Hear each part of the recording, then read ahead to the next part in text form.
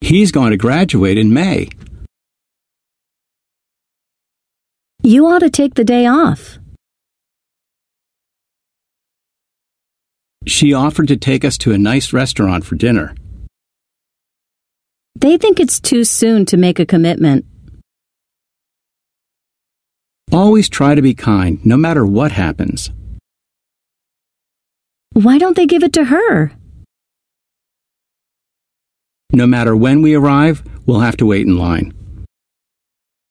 I wasn't really listening to her.